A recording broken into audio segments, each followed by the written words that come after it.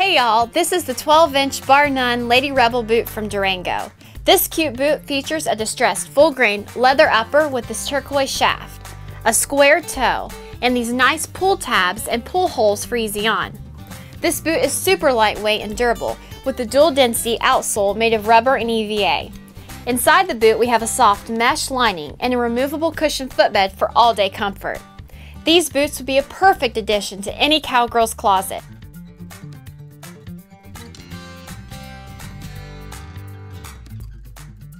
Get these Lady Rebels by Durango today.